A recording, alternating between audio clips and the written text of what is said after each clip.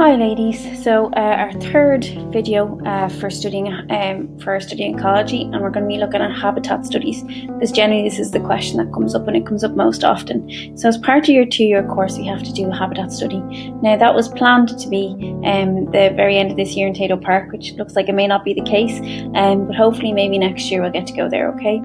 Now studying a habitat, um, so let's look at, at what we're going to be going through. So we're going to have to learn how to study habitat, the steps we have to take during that, how we estimate animal species in a habitat, how we estimate um, and identify uh, plant species as well, and how to use a quadrat.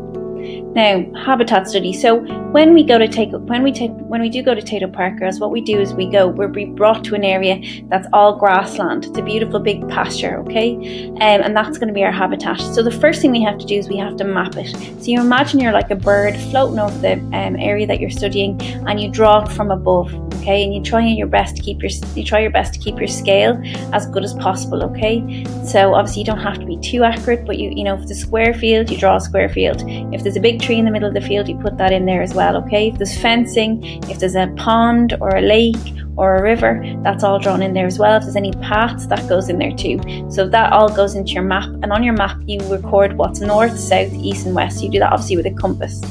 Next, girls, you have to try and identify and find uh, different living organisms. So, like insects, usually. Okay. Now, last time we were lucky enough to find a frog, and also there was a deer in the field as well. So we included those as our part of our living organisms too. Okay.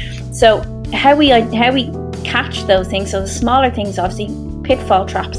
It's essentially a little hole in the ground covered by something like a piece of wood or a rock, and little organisms will fall in um, and wait to be found, and then you set them free once you've identified them. Okay sweep nets.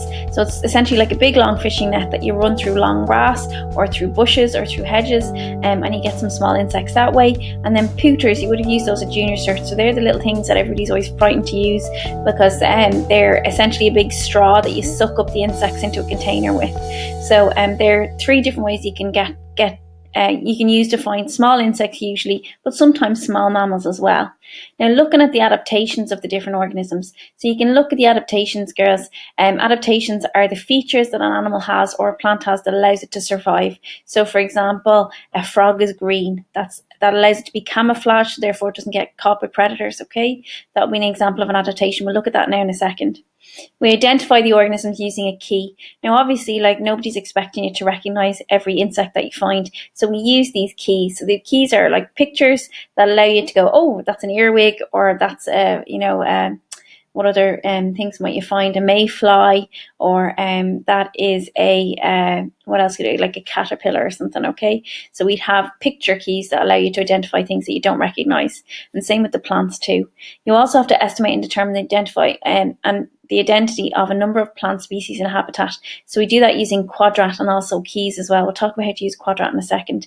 And we look at the abiotic factors in the habitat. Remember, abiotic means non-living factors that determine um, where something lives and, and how something lives. Okay, so for example, light, soil pH, um, and soil temperature and air temperature as well. So light is measured using a light meter. You can get that, you can download that on your phone really easily. Uh, soil pH is just using pH paper or universal indicator paper. Very easy again, we just have it in the lab. Um, and then also um, air temperature or soil temperature is just done with a thermometer. So the one you may not have heard of before would be a light meter. And light meter measures light and its units is lux, L-U-X. Okay. Now, living organisms. So the things that we identified in our last uh, trip to uh, Tayto Park Girls were um, blackbirds. Okay, now feature that that that has to allow it to survive um, would be a sharp beak to allow it to penetrate soil and get earthworms. Okay. Um, the deer, okay, will be antlers to allow it to um, fend off other deer for mates. Okay, that means another adaptation that has. And obviously the frog we've talked about the fact that it's camouflaged and that it's green. All right. Now, some species um, in regards to plants that we would have seen, obviously grass is a huge one because it's a pasture or grassland area, and plantains here, okay, kind of broadleaf uh, green plants as well. Daisies are very important. Um, then we've got thistles and we've got dandelions as well. Now, features that all of these plants have is that they are green and obviously they can make their own food. That's a really important adaptation for a plant. Um, also, um, the um, thistles are tend to be spiky, so they prevent herbivores from eating them, so they allow them to survive. Dandelions have, you know, their dandelions are the um, plants that um, that have really fluffy seeds that you can blow and they disperse on the wind. So their wind dispersal seeds will be an adaptation that that has. Um, and obviously this plantain here with the broad leaves has really broad leaves to allow it to get as much light as possible during the day. Okay, um, grass uh, adaptation that it might have will be produces a huge amount of seeds, so therefore can produce lots and lots of offspring. Now, um, We'll talk about how we identify and get an idea of the number of plant species in an area in a second. But in terms of living organisms, now you don't do this during a habitat study, but you are expected to know how it's done. So, for example, let's imagine I go to the Phoenix Park and I want to have an idea of the number of deer present in the Phoenix Park. Um, because that's really important because what they do is they do a cull every year to ensure there's not too many deers there because that could damage the vegetation that's there. All right. So I have to make a decision on whether we do a cull, which means killing some of the deer or not. So it's an important decision. So what I do is I go to the um the Phoenix Park on one day and I put a little blue spot on each deer that I come into contact with, okay? So I, you know, kind of spray paint on its back, blue spot on the back of it, okay? Then I come back on a second day and what I do is I mark each um, deer that I catch with a red spot. Okay. Now what I have to do, I have to use this formula here um, to try and work, estimate then the number of deer in the in the Phoenix Park. So I take the number of um, deer that was marked on the first occasion multiply by the number of deer that was marked on the second occasion, and then I um, divide it by the number of deers already marked on the second visit. So the ones that had two marks on them by the end of it, okay? So and um, that's how you get an idea of the number of animals in a habitat. Obviously, that's much harder than plants because animals or living organisms like insects move around. So it's much more difficult to determine their numbers than it is plants. Plants tend to be much easier. So the way we estimate the number of plant species in a habitat is using a quadrat. Now there's two ways, and also you can use a line transect or a belt transect. Okay, we'll talk about that in the end. There's two ways you can use a quadrat. You can use it by uh, using percentage cover or by frequency. All right, frequency tends to be quicker, tends to be easier um, if you're outside and trying to do it in a hurry, okay? Now, percentage cover is fairly simple. So every quadrat, um, girls, is broken up into um, 25 squares, okay? Um, and each square is worth 4%. Divide 25 into 100, you get 4, okay? And then we use this to work out the number of plant species in the habitat. So here um, we can see that grass is 96% of the quadrat, okay? It's in all the boxes, okay? Um, except for one, which is oh excuse me, except for one, which is um your which is your dandelion. Okay, four percent dandelion is found here. All right. Now you can be more specific here and, and maybe say only half of that box has a dandelion. So therefore, I'm going to say it's two percent. So you can break the boxes up. But the easiest way to do it, I think, is just um saying okay, if it's present in that box, it's four percent, and then obviously the rest will be grass.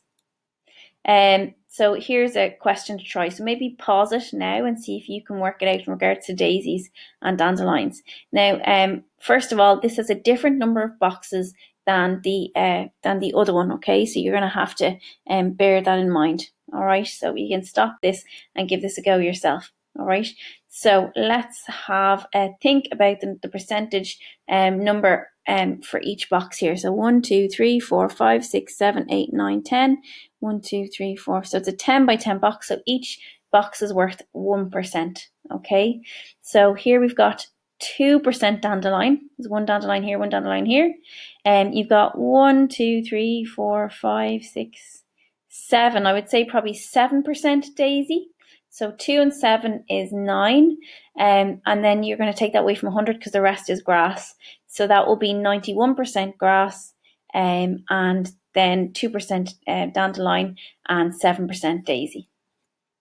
Um, now, frequency is, is much easier. The way we do this, girls, is nothing to do about counting up numbers, counting up boxes. We simply tick or cross whether a plant species is present. So here that I, I would tick that grass is present, and here I would tick that dandelion is present, okay? Now, there's a formula you need to use when you're doing frequency, all right? And I put X for everything else. So this is an example of, of how we do this. So here we can see grass is present in all of our um, in all of our quadrats. Dandelions are present in most of them, okay? And then plantain, the broadleaf green plant, is, is present only in one. So if I'm looking at dandelions, it's going to be five because that's the number of quadrats it was present in, divided by the total number of quadrats multiplied by 100. So therefore my percentage frequency of dandelions is 50%. My percentage frequency for grass was 100%. My percentage frequency for plantain, perhaps that's something you can work out now. Okay. Um, quadrat use must be random, girls, okay? We can't go over and just place the quadrat over the nice flowers that we find, okay? You have to do this in a specific way so um, for it to be representative of your habitat. So what we usually do is we take a pen or a, a, pencil we throw it behind our shoulders and without looking. Obviously you don't want to hurt anybody but you know you would throw it as randomly as possible behind you. Then you place the quadrat over where the pen landed okay? Um and then you do your quadrat study. So just be aware that that has to be random in nature. So um you throw a pencil over behind you okay? You place the quadrat where the pencil landed calculate percentage cover or frequency and you should repeat that 10 times to get average results to be really representative of your habitat uh, a line transect or a belt transect, girls, you usually use this where there's kind of a change in um, maybe in the slope of an area or it may be light. So it could be um, going from um, light to dark underneath a, a, load of trees. It could be going across a land dune. It could be going towards a lake. So it's usually where there's some sort of change in an abiotic factor. Okay would that be water or light or heat or whatever okay? And it gives you an indication then it essentially is just a rope with lots of knots on it and you record what's present at each knot. It will give you an indication whether the uh, um, environment is changing over over distance.